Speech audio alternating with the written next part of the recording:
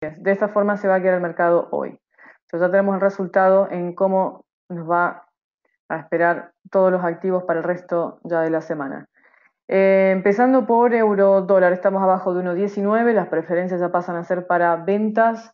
Vamos a vender desde 18.65, 18.65 a 18.53 y ya eh, abajo de 18.50 estamos en torno a la zona de 17.50 y 1.17, así que todas las compras en euro dólar expiran a partir de 18.50. No hay compras, pero sí vamos a vender a partir del 18.65. So we are below the 118 level with euro dollar. Therefore, just sellers are here in control, not buyers anymore. We're going to sell again below the 1865 We're going to sell again down to 1860, uh, 53. So once we sell here, then we have a moment for the market to, to basically tell us that if we're going down to 1750 and 17 or not. It might be the case, it might be the case that we are just now waiting just for sellers with euro dollar. Like I said, below 1850, we are out of the buyer's control here in the area. Debajo del 18.50 estamos fuera del control ya de los compradores.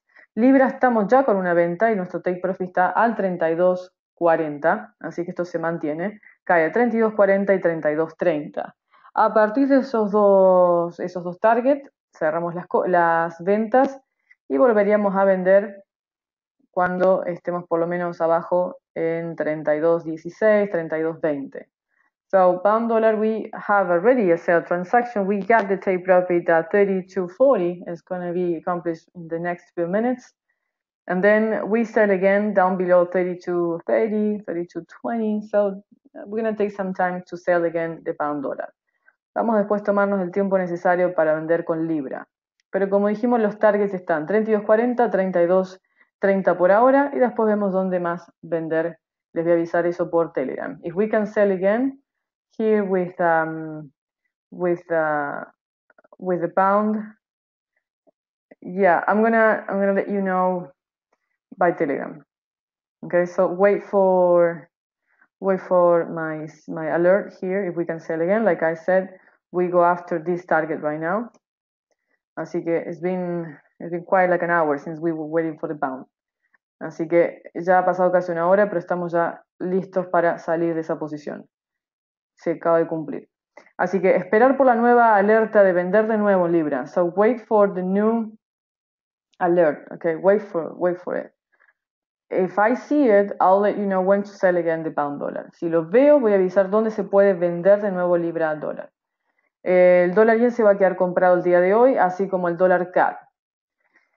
De todas formas, eh, no vamos a comprar de nuevo en estos dos activos, pero ya sabemos que el mercado está solamente para los compradores. Voy a avisar cuándo se puede comprar de nuevo. I'm going to let you know when can we buy again here, dollar CAD and dollar yen. But yes, we want to buy again, uh, and I'll, I will let you know when. Estamos, sí o sí se va a quedar comprado el mercado en el dólar CAD y en el dólar yen. It's going to finish for the buyers, dollar CAD and dollar yen.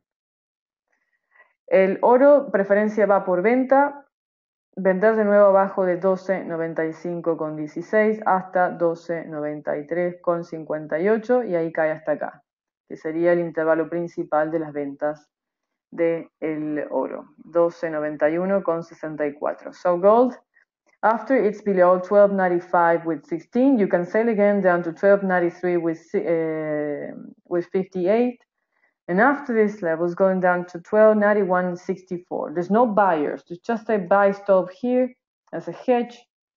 And that's pretty much it. Solamente compras para cubrirme, no para comprar. Como dijimos, si quiero vender de nuevo, espero este precio, vendo hasta acá y de acá vendo hasta acá. Sin compras. So gold here goes down to here, here goes down to here, and that's pretty much it. And then it's going to keep dropping.